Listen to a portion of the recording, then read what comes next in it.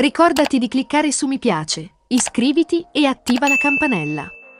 Sono innumerevoli i messaggi di cordoglio che sono comparsi in queste ore sul web per la scomparsa del noto calciatore. Aveva giocato per la Juventus, il Cagliari e il Cosenza. Il suo ruolo era quello di terzino sinistro, anche se all'inizio della sua carriera aveva giocato come marcatore.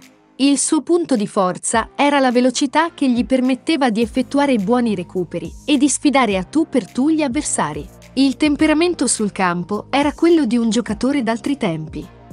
A lasciarci è Silvio Longobucco, morto all'età di 71 anni.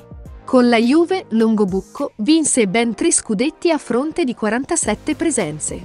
Poi passò in Sardegna, dove come giocatore del Cagliari scese in campo per sette stagioni e di fatto nel suo ruolo di terzino fu tra gli artefici della promozione in Serie A tra il 1978 e il 1979. Ricordatevi di lasciare un pollice in su, per noi è importante, grazie. Per restare aggiornato, iscriviti al canale e attiva la campanella.